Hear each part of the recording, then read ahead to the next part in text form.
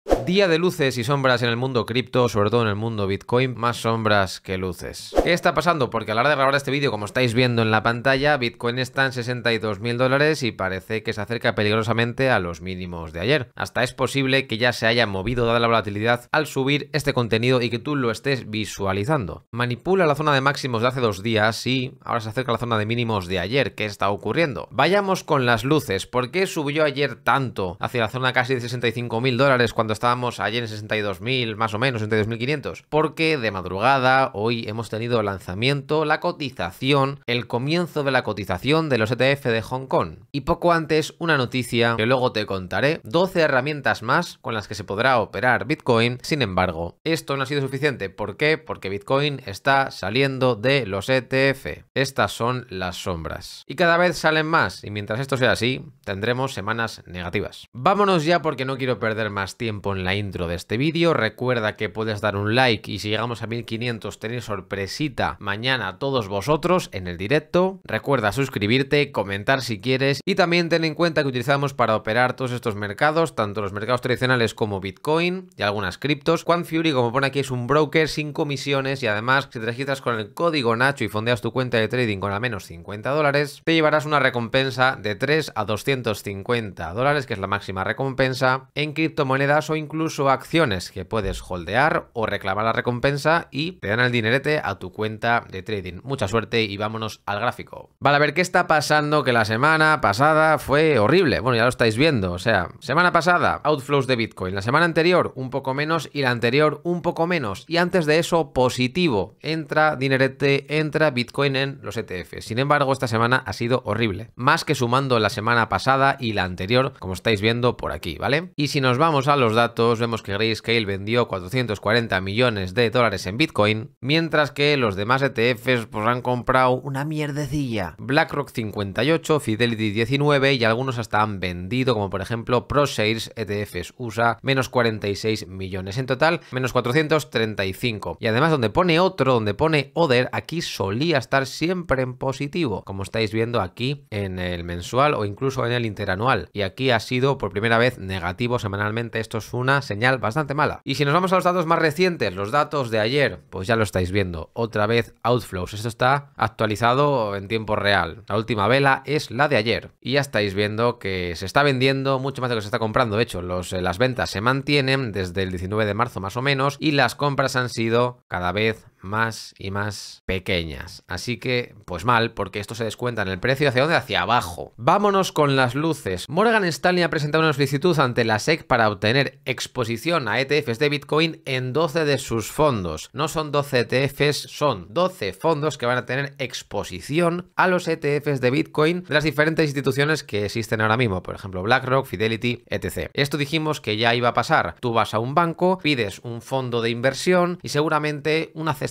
pequeña esté destinada a ETFs de Bitcoin, lo cual es más adopción. Sin embargo, mientras sigan saliendo primariamente los Bitcoin de los ETFs, pues mal. Y la otra luz divina era esto, ¿no? Que el ETF de Hong Kong, los ETFs mejor dicho de Hong Kong, han empezado a cotizar ayer. En cuanto han empezado a cotizar, pues hemos visto preocupación en el mercado y es totalmente normal, porque se ha descontado antes de que empezasen a cotizar, se ha descontado hacia arriba. ¿Y qué queda después de una noticia? Hacia abajo. Compra el rumor vende la noticia. Siempre pasa lo mismo. Por lo menos los primeros días. Luego, si hay una adopción masiva en los ETFs de Hong Kong, que de momento no va a ser así porque no manejan tantos miles de millones como BlackRock y los ETFs de Estados Unidos, pero bueno, valoraremos todo esto. En total, sumarán unos pocos más de millones de dólares de contraparte en los ETFs de Bitcoin. Por otra parte, hoy dato importante de inflación interanual en Europa y también de inflación core subyacente, que se espera que suba un poco la core, lo cual es malo que se estanque tan arriba, pero bueno, veremos lo que pasa. Y mañana mañana lo más importante, decisión de los tipos de interés que se van a pausar o sorpresa y la conferencia que retransmitiremos en directo como siempre. Es importante no tanto la decisión sino un poco el tono de Powell y qué nos va a decir y si nos va a meter miedete porque es muy probable y lo digo ya en este vídeo que mañana nos diga necesito más evidencias, más pruebas de que la inflación va a bajar y si no mantendremos los tipos de interés altos durante todo el año lo cual sería bastante malo para la bolsa y Bitcoin y se lo tomaría mal en un corto plazo. Y el jueves peticiones de desempleo. También va a ser importante ver cómo afecta esto a el mercado. Ya sabéis que si hay más desempleo, lo cual es malo, pero se descuenta que los tipos de interés no estén tan altos tanto tiempo, porque tendrá que actuar Powell para intentar arreglar el problema, porque Powell solo tiene dos prioridades. Por un lado desempleo, por otro lado estabilidad de precios, y siempre lo dice en sus conferencias. Y hoy al cierre de mercado tenemos Amazon, voy a lo importante, Amazon AMD, que digamos que es lo más nuclear de todos estos resultados de empresa que tenemos el día de hoy. Es cierto que antes de la apertura del mercado, a las 3 y 25, 3 y 20, tenemos resultados de PayPal, de 3M, de McDonald's, de Coca-Cola, lo cual es bastante declarativo, pero Amazon y AMD, digamos que son mega empresas que suelen moverse bastante y que suelen mover al resto del índice también bastante. Pero vámonos ya con Bitcoin porque no me puedo esperar más de lo que estoy viendo en pantalla ahora mismo. Hay pollito, hay pollito que mega vela a los 62 mil dólares, madre mía lo que estamos viendo ahora mismo, una vela que hace perder un 2% en cuestión de 45 minutos a BTC. Bueno, ya lo estamos viendo, ¿no? Ayer no cogió casi nada de liquidez y ahora está como apuntando hacia abajo y quedan 5 minutos para que cierre esta vela tan desastrosa. Vámonos ya al gráfico directamente, que esto no nos dice prácticamente nada. Tenemos liquidez por debajo y por encima, pero eso ya lo podéis ver vosotros. Bueno, Bitcoin justamente a 62 mil dólares. ¿Qué ha pasado ayer? Bueno, tenemos noticia, exposición de Morgan Stanley en 12 de sus fondos a los ETFs de Bitcoin. Bueno, pues esto revienta hacia arriba, eso de las 8 de la tarde, deniega esta bajada y se va a coger liquidez por encima del último máximo de hace dos días. A partir de aquí, ya manipulado estos máximos, se va hacia atrás. Desde las 3 de la mañana, cuando empezaron a cotizar los ETFs de Hong Kong,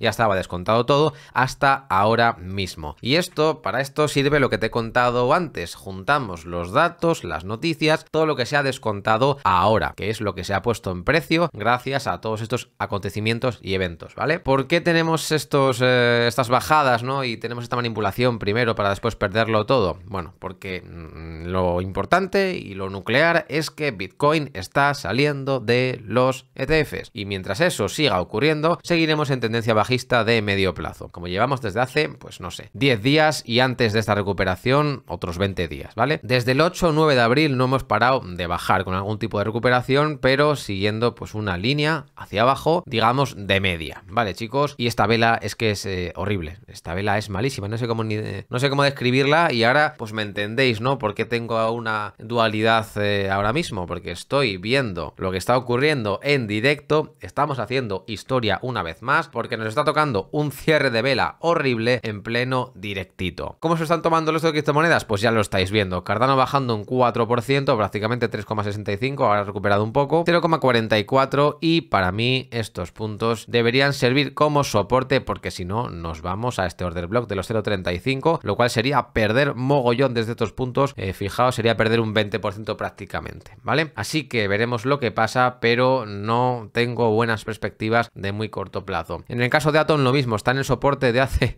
dos, tres semanas de cuando tuvimos esa mega bajada, ¿no? Por la guerra. En el caso de AVAX está en pleno soporte, un poco mejor, todo hay que decirlo. En el caso de BNB está en zona de máximos, como os dije el otro día, para mí en zona de ventas, además de manera bastante clara. En el caso de DOT peligra este soporte si sigue bajando así el activo y me parece que yo me voy a ir de compras dentro de poco. Ethereum bajando un 5% hoy, qué narices. Eh, fijaos que Bitcoin está bajando mucho, pero está subiendo la dominancia, porque Ethereum está bajando muchísimo. La vela horaria de Ethereum debe... Madre mía, madre mía. Vale, vale, vale, vale, vale. Mm, chicos, estamos perdiendo direccionalidad en muchas criptomonedas. Eh, bueno, pues Ethereum en el corto plazo, mm, viendo esto, a menos que recupere la vela siguiente, nos vamos a los 2.900 dólares por Ether. Madre de Dios. En el caso de Link también perdemos direccionalidad y nos vamos hacia la zona de los 12,72. Esto lo repasamos pasaremos mañana. En el caso de Matic perdemos los 0,68 y después de haber perdido este soporte seguramente nos vamos al mínimo de hace 11 días de los 0,6368. En el caso de Solana también perdemos el mínimo hace dos días, madre de Dios, y nos vamos, ya he hecho madre de Dios 50 veces, a los 126 y no descarto ver los 115 dentro de poco tiempo, ¿vale chicos? En el caso de Tron también pierde, digamos, esta recuperación y nos iríamos, pues a ver, estamos un poco mejor en Tron, no hay que negarlo, pero si finalmente esto es un testeo a recuperar la línea y se va hacia atrás, esto habrá quedado un pequeño exceso, una pequeña manipulación para irnos hacia la zona otra vez de 0,104. Así que para mí oportunidades de venta si has acumulado aquí o una orden por aquí. Por supuesto no es consejo de inversión, simplemente es como yo lo veo y lo que estoy detectando pues en todas las criptomonedas, ¿vale? Y en el caso de XRP también estamos viendo cosas parecidas, ya que esto simplemente fue un testeo a lo que antes eran estos eh, mínimos, ahora resultó un máximo, la verdad que todo lo que dijimos de momento está cuadrando y nos vamos a los mínimos de 0.47 de hace unos días. Y no, no despierta, bastante mal. También muy mal Metal que vuelve a los mínimos de hace 5 días y de hace dos semanas de los 0,032. Yo la verdad que estoy en bastantes pérdidas en esta moneda y lo bueno de la gestión es que pues en Metal, en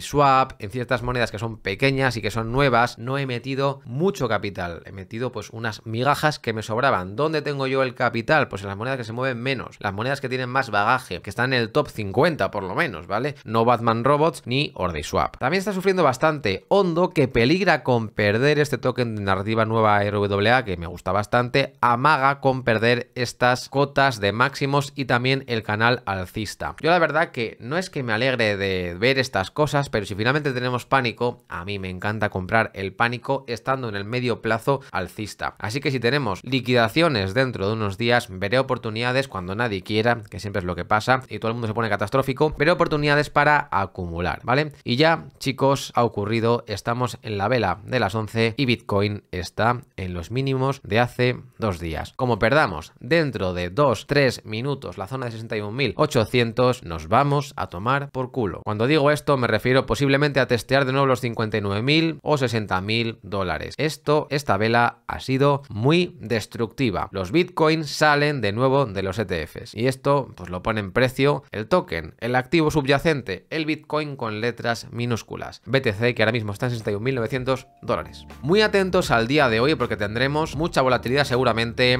Eh, hemos bajado en cuestión de 45 minutos un 3% y un 5% en el resto de criptomonedas y la verdad que esto peligra. Si te ha gustado este vídeo, que ha sido bastante intenso, por favor dale un like, suscríbete y nos vemos mañana, tanto en el vídeo de por la mañana como en el directo de por la tarde. Un saludo, sé que es el Día del Trabajador mañana, pero yo trabajo igual porque en el resto de países pues no lo es. Y tanto en Argentina, México, en Miami, que hay mucha gente que me ve desde ahí, hay gente que me ve desde Suiza, hay gente que me ve desde Australia, hay gente que me ve desde Nueva Zelanda, desde Bali, desde Portugal, hasta desde Angola, hay gente desde Angola. Un saludo a todos los de allí. Mañana, los que no trabajáis, pues cafetito y vídeo de Nacho, ¿vale? Un saludo y nos vemos chicos. Chao.